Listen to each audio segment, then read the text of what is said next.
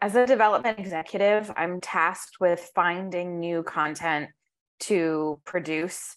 Um, so that means um, on a daily basis, I'm taking pitches from talent or agents with ideas for shows. I'm meeting with artists and writers. Um, on the other side, uh, well, then we're developing the content further. Uh, when somebody comes in with an idea, we get our hands on it and work collaboratively with uh, artists to flesh out what we call a show Bible that outlines um, the elements uh, that broadcasters want to see before they uh, engage or pick up a show.